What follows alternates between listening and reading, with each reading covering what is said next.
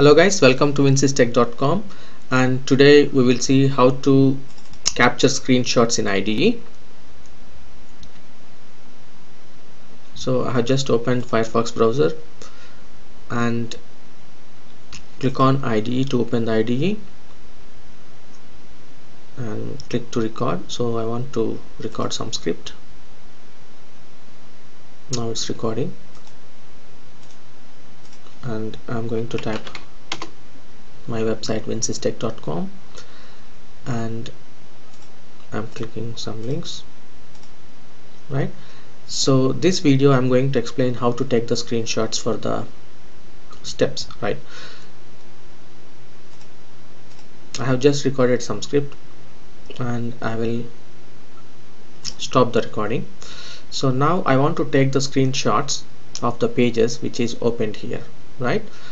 So for that first you have to insert the command where you want to take the screenshot. So I want to take a screenshot after opening the Selenium website. So right click and insert new command. So in this place means after opening the home page I want to take the screenshots. So insert the command here and in the command search for capture entire page screenshot okay? So you have a built-in command called capture entire page screenshot. So this command will take the screenshot right? So in the command select the command and in the target now in the target you have to give the path or file name of the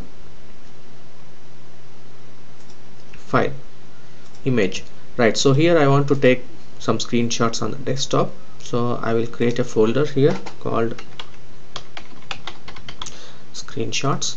So in the screenshots I want to take the screenshots. Right so take the path by right click and going to properties.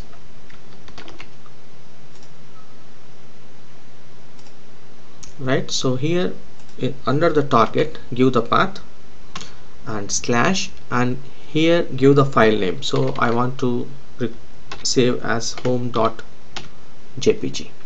right? So this is for first page. Sorry I forgot to give the folder name here. That's called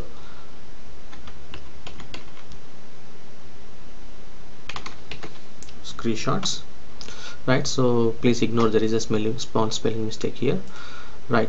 So I would like to take the screenshots for all the pages. So I will just copy this line by control C and here I will insert like this for every step. And I will change the name. So here I need about us. And this one web design.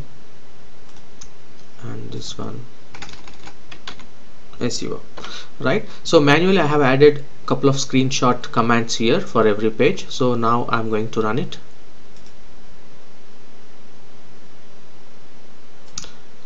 See under log if you can't see or if you don't see any errors so that will be fine. So now go to see you can see the runs are completed and no failures. And in the desktop under screenshot folder I can see all the screenshots for the runs yeah. So this is how you can take the screenshots for the Selenium IDE scripts right? So thank you for watching the video